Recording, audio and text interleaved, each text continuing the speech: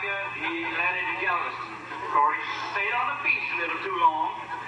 But he, when he come to uh, Houston,